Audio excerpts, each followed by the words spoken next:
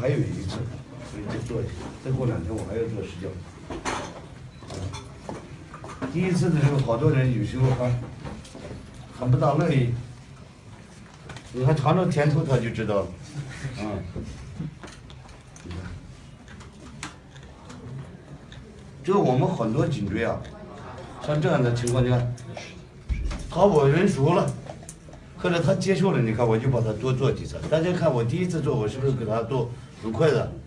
像这老病人或者那个，他就不用怕，我给他多来几下，哎，因为他这八越放松越好啊。放松做完做完就别了啊，做完就软了吗？呢？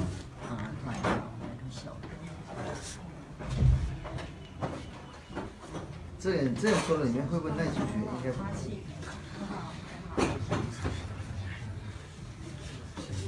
以后一定要来，早点来。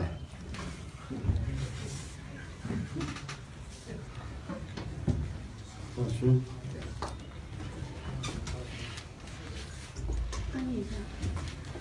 好了。